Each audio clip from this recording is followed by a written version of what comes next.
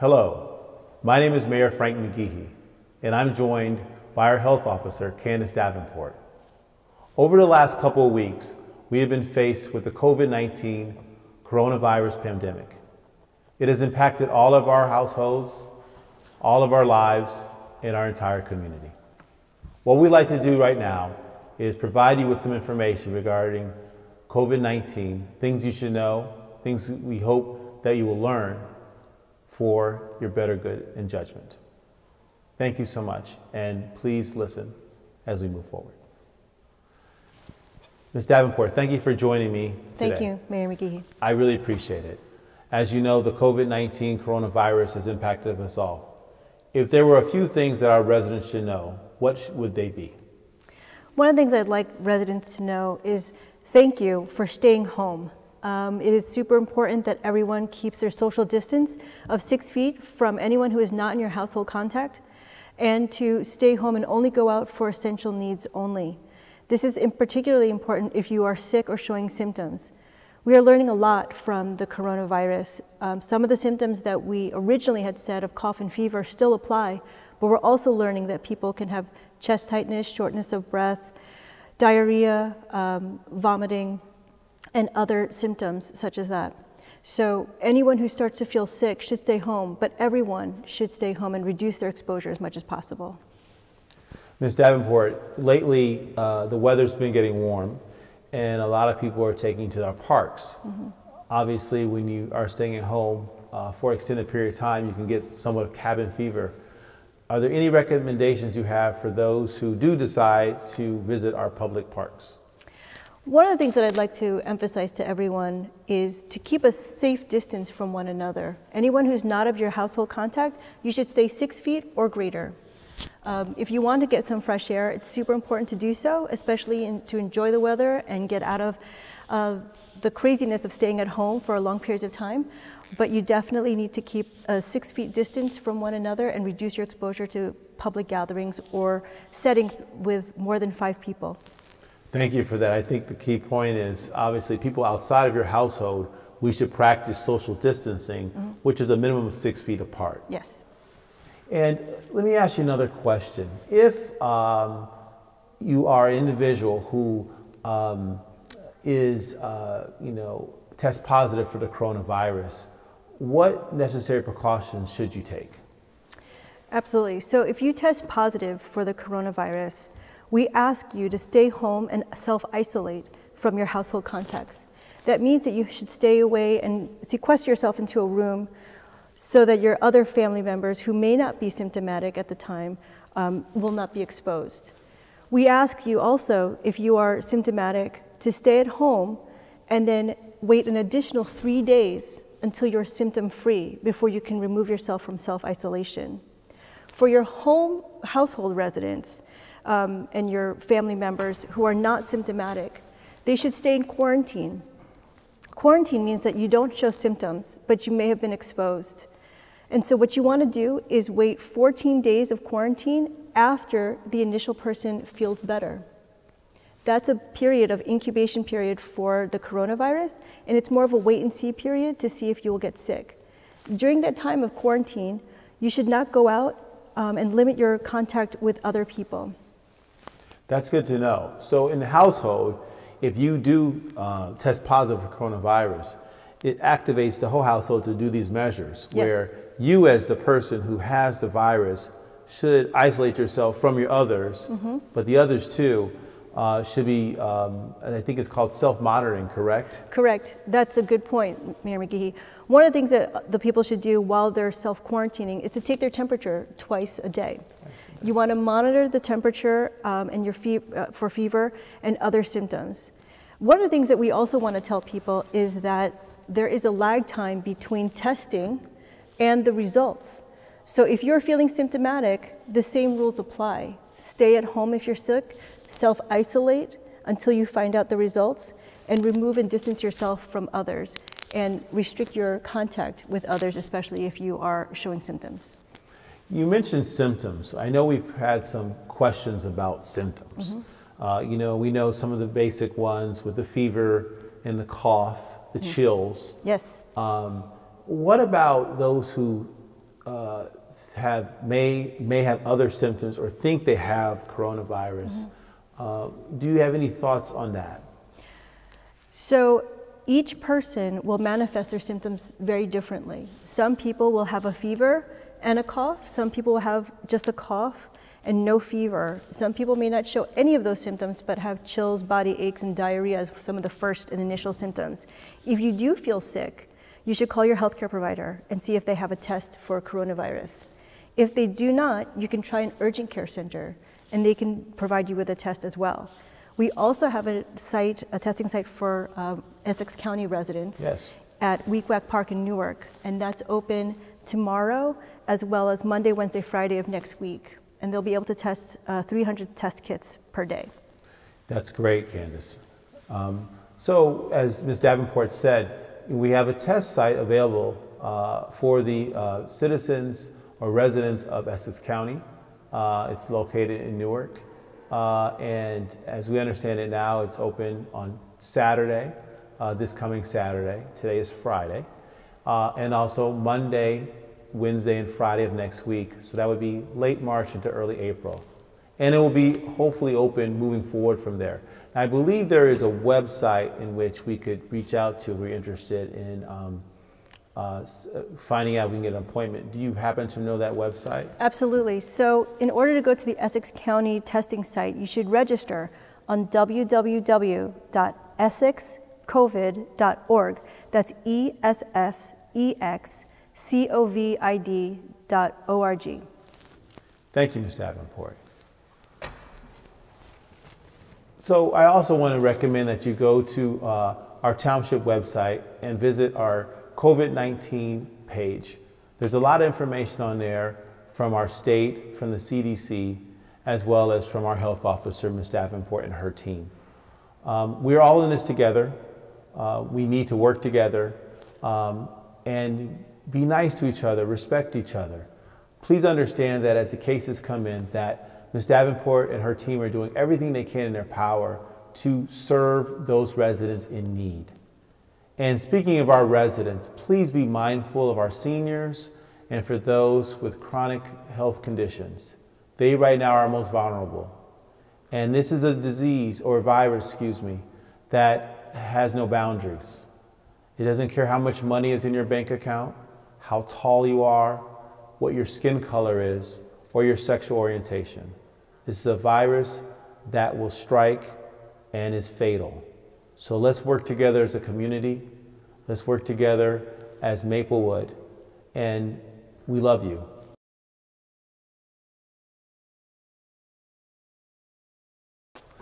Ms. Davenport, if a resident has taken the test and is waiting for their results, and they have family members in the household, what should those family members do in terms of socializing uh, with the public? Okay, that's a very good question. Testing for the COVID 19 virus can take up to three to five days or almost seven days to get the results.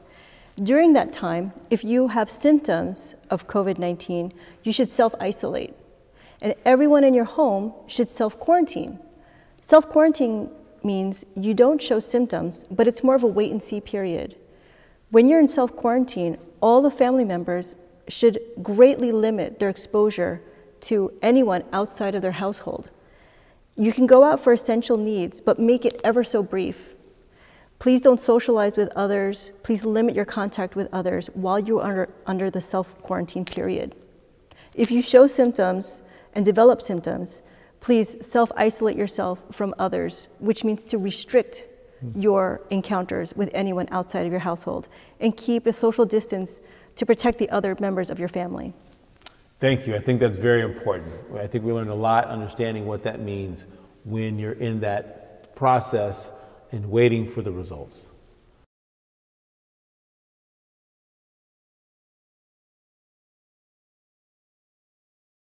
There's a lot of questions in our community, and I wanted to give you the opportunity to help us address them and ease some concerns and raise the awareness of information regarding COVID 19 coronavirus. If I tested positive for COVID 19, mm-hmm. what should I do? Okay.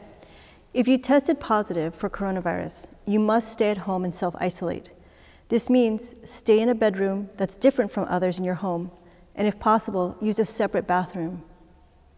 You must self isolate for at least three days or 72 hours have passed since you had fever without the use of fever reducing medications and other symptoms are greatly improved. And at least seven days have passed since your symptoms first started. If you live with other people and they were not tested, they should keep their distance from you. This includes not eating meals together and not sitting around the house together. Practice social distancing even at home as much as possible. That is, to stay at least six feet from each other while you're symptomatic. Thank you. And what should people do who live in my home? What do they need to know? I think it's one of the big questions like, okay, someone's tested positive in my home, mm-hmm. I'm in this home, what do I do in, inside the household? Right. If they are symptomatic or sick with COVID 19, they should also self isolate for three days or 72 hours until they are fever free without the use of fever reducing medication and other symptoms are greatly improved and at least seven days have passed since symptoms first started. If the symptoms are mild, they should recover at home. If the symptoms worsen and a medical evaluation is needed, please call your healthcare provider. If they are asymptomatic or not sick, which means they do not have COVID 19 symptoms, they should self quarantine for 14 days after any sick person in the household's self isolation period ends. If the symptomatic, asymptomatic person, excuse me, develops symptoms, they should follow the self isolation instructions. Symptoms may take 2 to 14 days to appear. It is important to monitor their health long enough to ensure that they do not develop symptoms. One of the most important things to do is take your temperature twice a day while you're in a self quarantine period. What is the difference, when we talk about symptoms, what is the difference between mild symptoms and, and moderate symptoms? Okay, that's a good question. Mild symptoms are when you feel unwell, but can stay home and manage your symptoms at home. Most people with mild symptoms can recover from home. Moderate symptoms are those where you may need a medical evaluation from your healthcare provider, such as shortness of breath or chest tightness. If your symptoms worsen over time and do not get better, especially if you have trouble breathing, please call your healthcare provider to determine next steps. Thank you for that, Ms. Davenport. You know, the other question I have is that, you know, should I tell other people that I've been exposed to COVID 19? Hmm. Those who have been closest to you for a period of a prolonged period of time are going to be at highest risk. Household members and others with whom you spent a long period of time, which means more than 10 minutes, or within six feet of you, or shared a meal, would be those at risk increased risk and should be advised to self quarantine at their home for 14 days after they've had contact with you or any sick household member's self isolation period ends. If the asymptomatic person develops symptoms, they should follow the self isolation guidelines, which means to stay home for three days after being symptom free. People who did not spend a prolonged period of time with a symptomatic person, such as being within six feet of a person or spending more than 10 minutes with them are at much lower risk. This would include people you may have been in indoor space for a long period of time, for a prolonged period of time. They should monitor their health, but no restrictions about where they go. Again, this applies to those who are in low risk. Everyone should wash hands often and practice social distancing. If possible, you should notify individuals above regarding your illness. You should notify individuals regarding your illness. Work or school supervisors may be informed to help with this process. People who you may casually come into contact with, passed by in the hall, briefly spent time with in a room, uh, shared a short elevator ride, are not considered to be at risk and do not need to be contacted.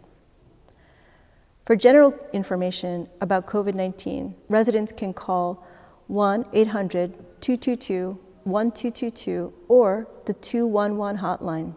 They can also go to njcovid19.nj.gov yes. or nj.gov slash health for more information. They can also visit our website at www.twp.maplewood.nj.us COVID slash COVID-19. Thank you, Ms. Davenport. Fellow citizens, it's a lot of information, I know, but this is most important information for you to obtain because it's coming from your health officer. Please, again, visit the websites, which we've already communicated. You can dial 211. There's also an 800 number, 800 222 1222. You can call that number as well to get information regarding COVID 19 coronavirus.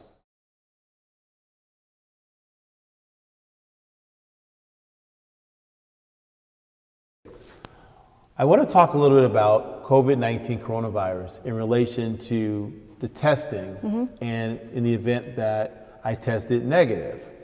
So, if I tested negative for COVID 19, what do I do next? Okay. If you tested negative for COVID 19, the recommendation is to stay home and practice social distancing until 72 hours after your fever has ended without the use of fever reducing medication and other symptoms improve. After this time, you may resume your regular activities, but still please, please practice social distancing of six feet from others. What if I tested negative though, but I still feel sick? Okay. If you tested negative for COVID 19, but you still have symptoms, it is likely you may have another respiratory virus. You should continue to self isolate yourself from others. Please practice good hand hygiene and clean and disinfect the surfaces in your home. If your symptoms worsen or don't get better after several days, please call your healthcare provider. You should not return to work or school until 72 hours after your fever has ended without the use of fever reducing medication and your other symptoms have improved. Thank you for that. Um, what other actions should I take uh, to, protect, to protect my health? I mean, what else should I do? Okay. As long as the virus that causes COVID 19 is spreading in our community, Please continue to practice social distancing. That's six feet from everyone who is not in your household contact. Please wash your hands often and regularly, especially after being in public spaces, and avoid touching your face with unclean hands. Please clean and disinfect high touch surfaces daily in your household, which are common areas like tables, chairs, doorknobs, um, laptops, uh, keyboards, light switches, and toilets and sinks and phones. Thank you. So, Maplewood residents, please take these precautionary measures. Even if you test negative, please be mindful of your hygiene, wash your hands, practice social distancing. This is very important as we continue to fight against COVID 19 coronavirus. Thank you so much. Be safe.